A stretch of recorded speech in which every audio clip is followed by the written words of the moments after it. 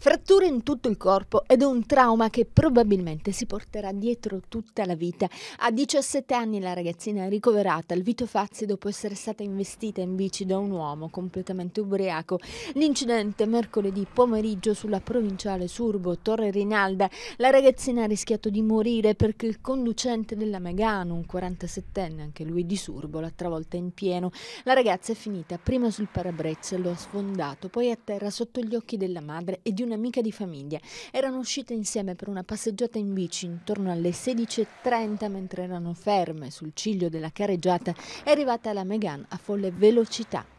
L'automobilista evidentemente non si è proprio accorto di loro. Sottoposto all'etilometro gli è stato trovato un tasso alcolemico molto al di sopra del limite previsto dalla legge. I vigili urbani di Surbo intervenuti sul posto gli hanno sequestrato l'auto e lo hanno denunciato per lesioni e guida in stato di ebbrezza. La diciassettenne è finita in ospedale nel reparto di ortopedia.